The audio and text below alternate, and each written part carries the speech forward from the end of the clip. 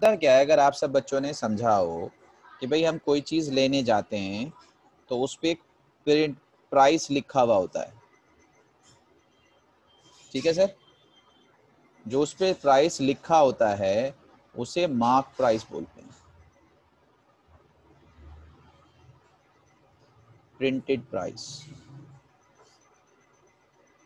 Label price जो भी चाहे कह लीजिए। टैग जो उसमें लगा हुआ तो वो हमारा है मार्क प्राइस। अब आप जाते हैं शॉप पे शोरूम में और वहाँ लिखा हुआ है सेल डिस्काउंट। हम पूछते हैं भाई कोई डिस्काउंट है क्या? वो कहता है ट्वेंटी परसेंट डिस्काउंट।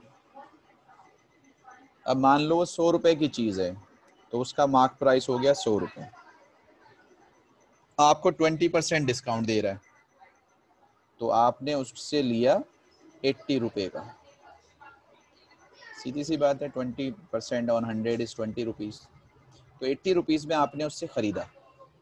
तो अगर आपने एट्टी रुपीज़ में ख़रीदा तो उस सेलर का, उस शॉपकीपर का सेलिंग प्राइस एट्टी रुपीज़ है। ये हो गया सेलिंग प्राइस लेकिन आप सब बच्चे मुझे बताओ, जो हंड्रेड रुपीज़ था, लिखा हुआ, क्या इतने में ही वो चीज़ लेके आया होगा? उसने जो खरीदी होगी दुकानदार ने क्या सौ रुपए की खरीदी होगी? नहीं और जितने की वो खरीदी होगी उस पर हमें डिस्काउंट देगा वो? अगर उस पर डिस्काउंट देगा तो उसे लॉस हो जाएगा। तो हम्म। होता क्या है लेबल प्राइस अलग होता है और कॉस्ट प्राइस अलग होता है। तो उसने ज़ाहिर सी बात है उतने प्राइस में नहीं खरीदी थी। तो कॉस्ट प्राइस होगा अलग। तो कॉस्ट प्राइस यहाँ लिख लेंगे।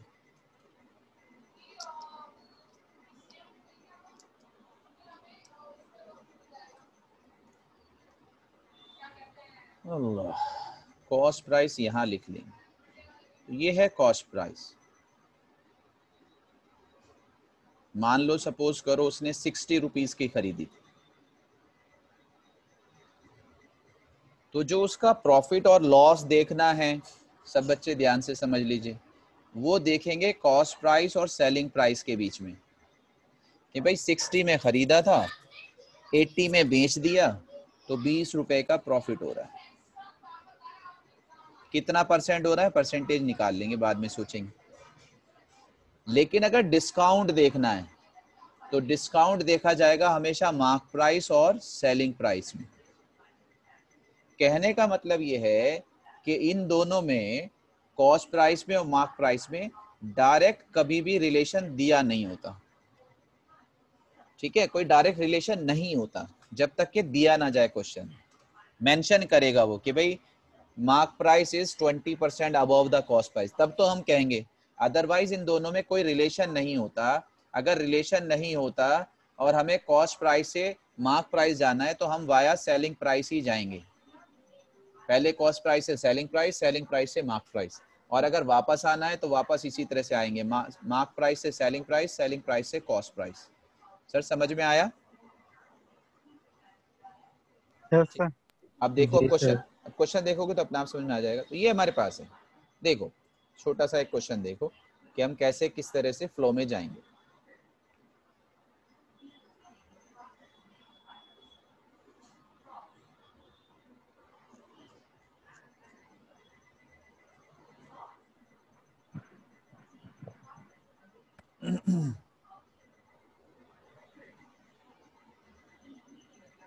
देखो सब बच्चे, बहुत छोटा सा क्वेश्चन है तो आपके दो टॉपिक पूरे हो जाएँगे, फिर आराम से आप इस पे क्वेश्चन कर सकेंगे। यही लेवल रहता है जो मैं अब आपसे डिस्कस कर रहा हूँ। ये मेरे पास। और मैं इंशाल्लाह आज आपके उसमें रीजनिंग के और जीके के क्वेश्चंस ऐड करूँगा गूगल क्लासरूम में तो उससे वर्कशीट करना शुरू कर देना। और जितनी मैं वर्कशीट डालूँगा, बस उतना ही कर लेना इनशाला एंट्रेंस अगर आपके होते हैं तो बहुत होगा वो। देखो बेटे, सब बच्चे अब आप ध्यान से। नहीं, ये तो हम कर चुके ये वाला नहीं। ये तो लास्ट क्लास में हमने डिस्कस किया था।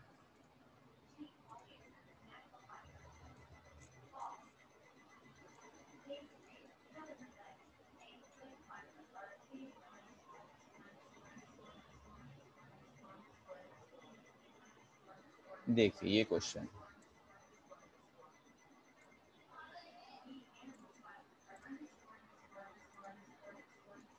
यस भाई. A fan is listed at 150 and a discount अब मैं आपको बेसिक भी बताऊँगा, जिन बच्चों ने नहीं सीखा था. पहले क्वेश्चन समझ लेते हैं question a fan is listed at 150 तो 150 हमारा लिस्ट प्राइस है. लिस्ट प्राइस कहिए मार्क प्राइस कहिए लेबल प्राइस कहिए, जो भी कहिए. जो वहाँ हमें दिखाई देता है। And discount of 20 percent is given और इस पे 20 परसेंट डिस्काउंट दिया ये आपसे कह रहा है। आपसे कह रहा है सेलिंग प्राइस बताओ। तो इसमें तो सिर्फ़ सेलिंग प्राइस पूछ रहा है।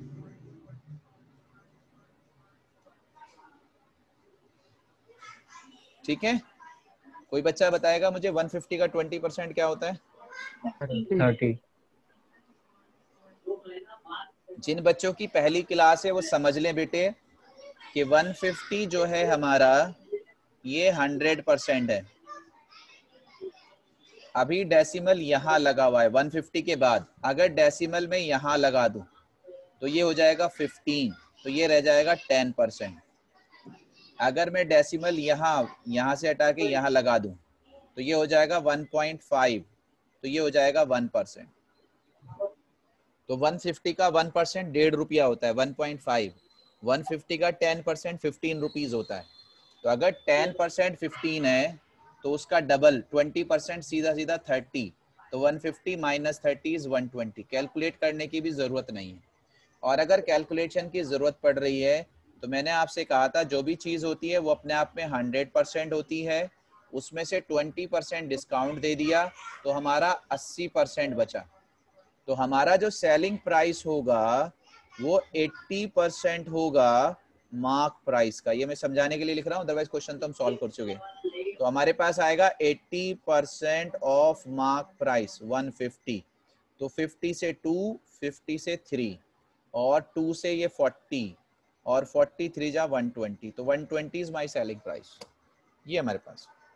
देखो एक क्वेश्चन और देखो।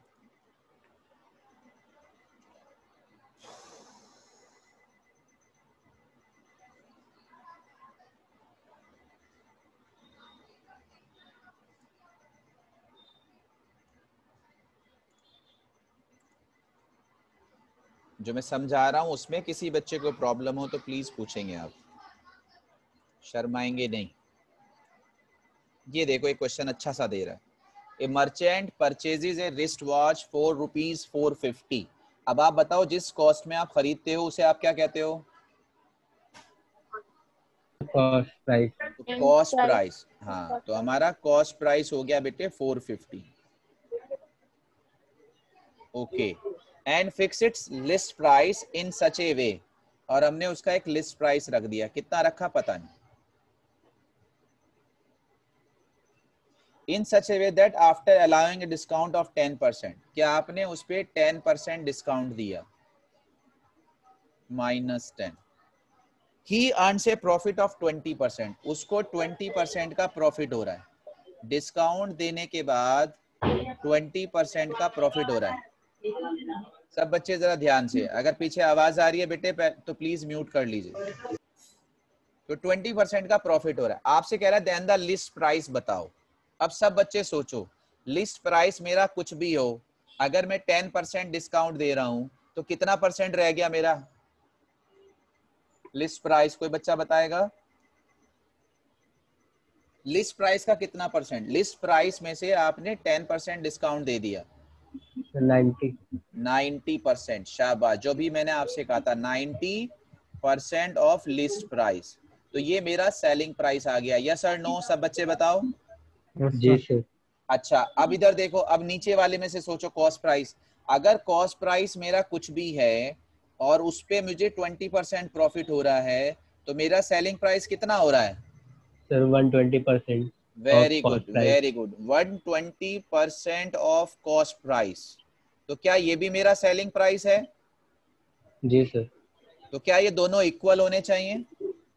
बिल्कुल सर हाँ भाई सब बच्चों को समझ में आया या नहीं आया?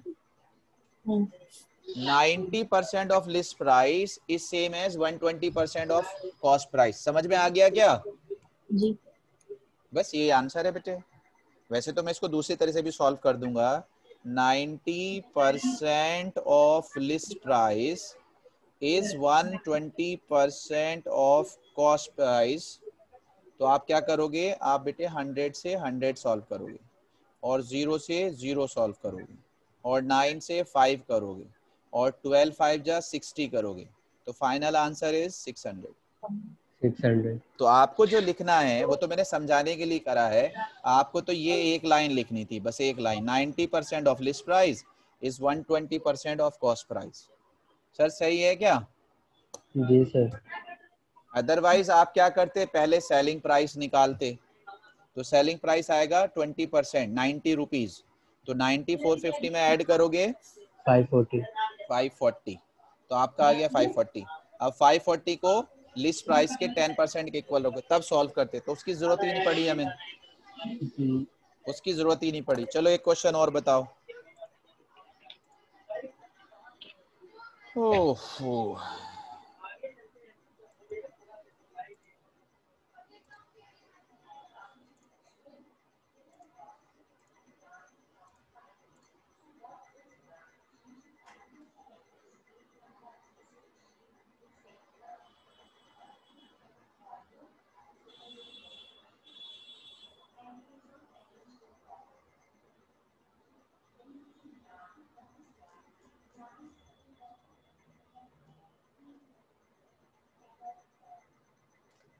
देखिए, एक चीज़ और देखिए आप सब बच्चे, ये भी आपसे पूछता है, हमारे पास क्या होता है? हमारे पास एक होता है सक्सेसिव डिस्काउंट कभी कभी आपने देखा होगा sale 60 percent plus forty percent कभी कभी ये लिखा होता है। तो इसका क्या मतलब होता है? इसका मतलब ये नहीं है कि आपको 60 plus forty hundred percent free आपको मिल रहा है। इसका मतलब होता है कि आपका कोई भी लिस्ट प्राइस है, कोई भी लिस्ट प्राइस है, मान लो लिस्ट प्राइस है हंड्रेड रुपीज़ तो उस पर पहले आपको डिस्काउंट सिक्सटी परसेंट मिलेगा, फिर आपको डिस्काउंट फोर्टी परसेंट मिलेगा। दोनों एक साथ प्लस करके नहीं मिलेंगे। सक्सेसिव हैं एक के बाद एक। तो अगर हमारा हमारा जो लिस्ट प्राइस हंड्रेड है प्लीज़ ध्यान से देख लीजिए तो पहले कैलकुलेट होगा सिक्सटी परसेंट आप सब बच्चे बताओ हंड्रेड का सिक्सटी परसेंट क्या होता है? सिक्सटी तो अब आपके पास बचे फोर्टी अब आपको 40 परसेंट डिस्काउंट मिलेगा। तो इसे कहते हैं सक्सेसिव एक के बाद एक। तो फोर्टी रुपीज़ का 40 परसेंट कितना होगा? सिक्सटीन तो 40 माइनस सिक्सटीन क्या हुआ? ट्वेंटी फोर तो ये मेरे पास तो आपसे क्या पूछता है? एक तो आपसे कैलकुलेशन पूछ सकता है कि दो सौ रुपए की चीज़ है सिक्सटी फोर्टी परसेंट उस पर डिस्काउंट मिल रहा है बताओ कितने की मिलेगी। दूसरा आपसे पूछ सकता है कि इसके इक्वल सिंगल डिस्काउंट बताओ। इक्वल सिंगल डिस्काउंट तो अब आप खुद सोचो हंड्रेड रुपीज़ की चीज़ हंड्रेड रुपीज़ की चीज़ ट्वेंटी फोर में मिल रही है तो इसका मतलब कितना लेस हुआ? 76 जब आप हंड्रेड पे कैलकुलेट करते हो तो वो अपने आप परसेंटेज में ही आ जाती है। तो सेवेंटी सिक्स परसेंट पे आपको मिला। आ गया समझ में? जी चलो देखो।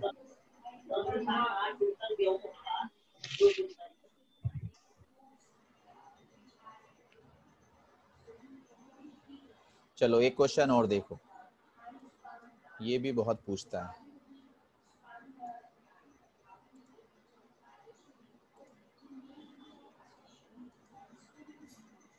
ये हमारे पास है।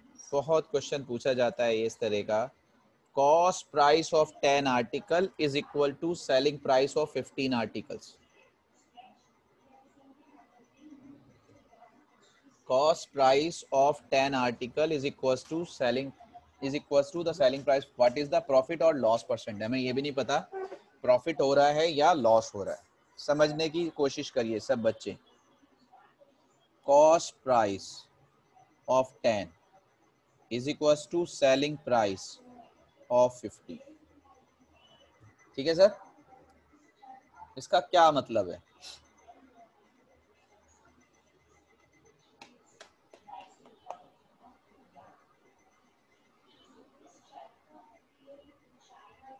अगर मैं आपसे ये कहूँ आप सब बच्चों से मैं अगर ये कहूँ इतनी सी बात कहूँ तो शायद आपको समझ में आना चाहिए कि भाई मान लो जी बेटे? दस दस सामान खरीदने का जो पैसा है वो बराबर है पंद्रह सामान बेचने के। हाँ तो हिंदी में बता दिया आपने। बहुत अच्छी बात। चलो मान लेते हैं हम कि भाई कॉस्ट प्राइस ऑफ़ टेन ठीक है और सेलिंग प्राइस ऑफ़ फिफ्टीन वो दो सौ रुपए के इक्वल है। तो इसका मतलब आपने cost price of ten objects दो सौ रुपए में खरीदे थे। सोच लीजिए अभी मैं आपको क्या लिखा। और selling price of fifteen objects दो सौ रुपए में बेचे। अब आप सब बच्चे बताओ बेटे, आपने मान लो, आपने मान लो, बीस चेयर खरीदी थी। सपोज़ करो। ठीक है? और बीस चेयर इसके हिसाब से इसके हिसाब से चार सौ रुपए की खरीदी होंगी। यस और नो यस सर जब दस दस दस ऑब्जेक्ट का हमारा कॉस्ट प्राइस दो सौ है तो चार सौ रुपए। अब आपने उसमें से पंद्रह चेयर बेच दी। और आपको पैसे कितने मिले? दो सौ। दो सौ। आपके पास चेयर बची पाँच। और अभी आपको दो सौ ही रुपए मिले हैं। तो आपको प्रॉफिट हो रहा है लॉस हो रहा है? लॉस हो रहा है। हाँ भाई सब बच्चे बताओ। हमने पंद्रह बेचने के बाद दो सौ रुपए हासिल करें जबकि दो सौ दस खरीदी थी दो सौ रुपए की। तो इसका मतलब हमें पाँच एक्स्ट्रा बेचनी पड़ रही है। तब हमारी अपनी कीमत वसूल हो रही है। प्रॉफिट तो छोड़ो। हमारे अपने ही पैसे मिल जाएँ तो हमें एक्स्ट्रा बेचनी पड़ रही। तो पाँच का नुकसान हो रहा है, ये समझिए। अब पाँच का नुकसान कब हो रहा है, ये समझ लीजिए। पाँच का नुकसान हो रहा है जब हम पंद्रह बेच रहे हैं। अगर हम पंद्रह ना बेचते तो नुकसान कुछ और होता। मान लीजिए मैं आपसे कह दूँ cost price of ten is equal to selling price of ten तो दस खरीदी, दस बेच दी तो कोई नुकसान नहीं। लेकिन अगर मैं आपसे कहूँ सेलिंग प्राइस ऑफ़ ट्वेल्व तो अब दो का नुकसान है, लेकिन कब? जब ट्वेल्व बेची। तो कितनी सेल कर रहे हो, उस पर नुकसान होता है। तो फाइव का नुकसान है ऑन सेलिंग फिफ्टीन तो ध्यान से देख लीजिए, एक लाइन लिखनी है बस। Loss percent is equal to loss of five on selling fifteen how much on hundred इतना सा लिखना था बेटे, बस। बाकी सारी चीज़ तो समझाने के लिए थी। Answer is five by fifteen into hundred. तो five by fifteen into hundred का मतलब? Hundred by three. Thirty three one by three percent loss. कुछ समझ में आया क्या? जी सर। लॉस होगा यहाँ ध्यान से देख लीजिए। अब जरा ध्यान से देखो मैं अगर आपसे क्या कह रहा हूँ? क्वेश्चन देख लीजिए अब। आपसे कह रहा हूँ cost price of ten. Is equal to selling price of eight बताओ प्रॉफिट होगा या लॉस होगा? प्रॉफिट होगा।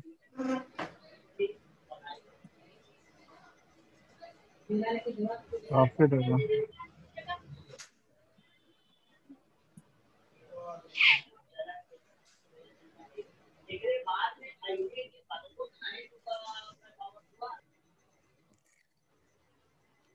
हाँ जी सर सर प्रॉफिट होगा। कितने का प्रॉफिट हो रहा है? टू का। कितने बेचने पे? एट। एट बेचने पे। हाउ मच ऑन हंड्रेड बेटे ये आंसर है बस। इतना लिखना है आपको? Two by eight into hundred तो two by eight four four से कितना? ट्वेंटी फाइव पर। भाई सबको समझ में आया नहीं आया? कहा बाकी बच्चे तो बोल नहीं रहे? हमने डबल क्लास ले डबल क्लास ले ली थी कि बच्चों को कुछ फ़ायदा हो। बाकी तो सब ऐसे ही नाराज़ बैठे हुए हैं। इल्मा? यस सर आ गया समझ में। वेरी गुड शाबाश।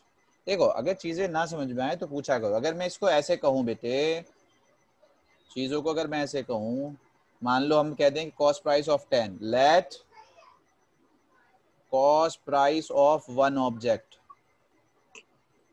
is one rupees तो cost price of ten object कितना हो जाएगा? हाँ भाई टेन रुपीज़ हो जाएगा? Yes sir no yes sir अब आपसे क्या कह रहा है कि भाई कॉस्ट प्राइस ऑफ़ टेन जो है सेलिंग प्राइस ऑफ़ एट के इक्वल है। तो एज पर क्वेश्चन आपके पास क्या हो जाएगा? Selling price of eight is equal to ten rupees हो जाएगा। क्योंकि कॉस्ट प्राइस और सेलिंग प्राइस दोनों सेम है। तो सेलिंग प्राइस ऑफ़ एट भी टेन हो जाएगा। तो सेलिंग प्राइस ऑफ़ वन कितना हो जाएगा भाई? Ten by eight ten by one point two तो टेन बाई एट का मतलब one point two five two five अब आप खुद सोचो बेटे जो चीज़ आपने एक रुपए की खरीदी थी आप सेल कितने की कर रहे हो? वन पॉइंट टू फाइव है ना? तो प्रॉफिट कितना हुआ? पॉइंट टू फाइव पर पीस का। कितने रुपए पे? एक रुपए पे इन टू हंड्रेड। अब समझ में आया? नहीं आया? ठीक है? तो जितना Yes, एक पे होगा उतना सब पे। तो प्रॉफिट सीधा सी। तो इस तरह से कैलकुलेट करना होता है। लेकिन इसकी हमें ज़रूरत ही नहीं है। तो आंसर आ गया ट्वेंटी फाइव परसेंट तो वो हमारा डायरेक्ट ऊपर आ रहा था कि दो का प्रॉफिट हो रहा है आठ बेचने पे तो सौ बेचने पे कितना होगा? तो ये हमारे पास था। ठीक है जी? चलो देखो एक क्वेश्चन और देखो।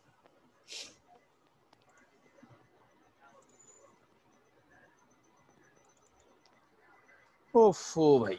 अरे मेरे अल्लाह।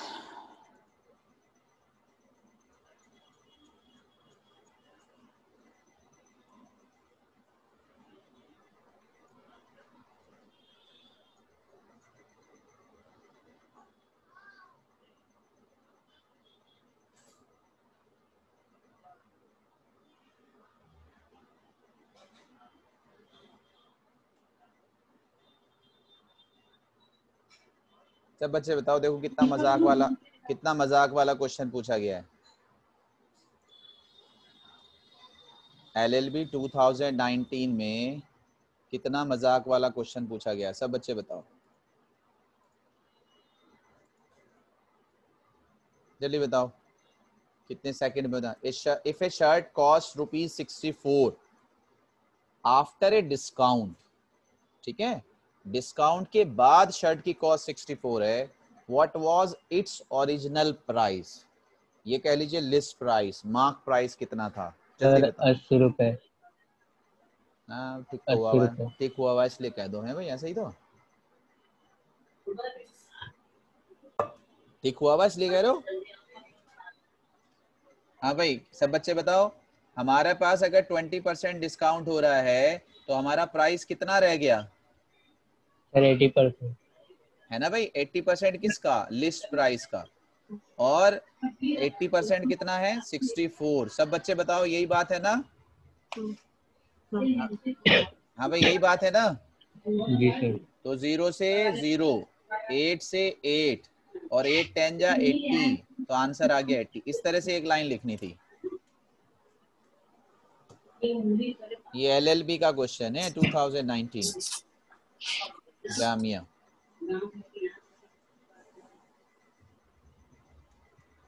अल्लाह तौबा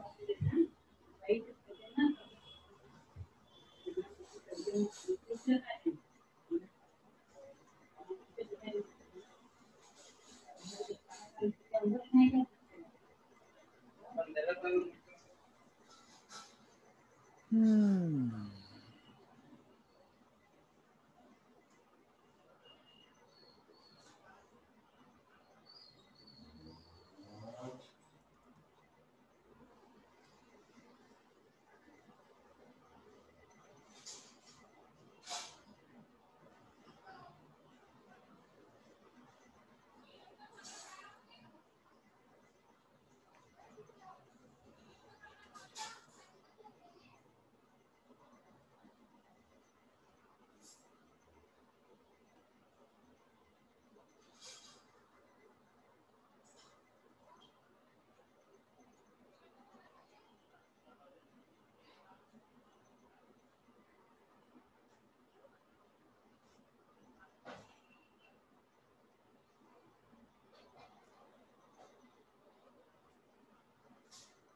चलो सब बच्चे बताओ इसको कैसे करोगे?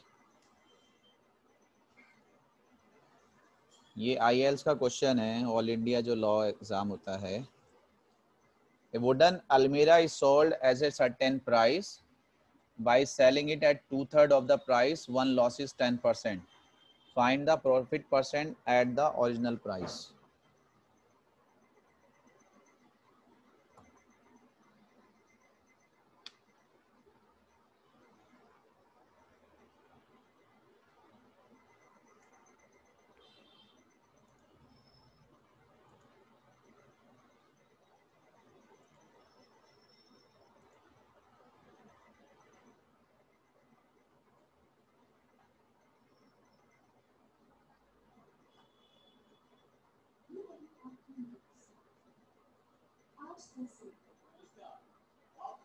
बताओ सर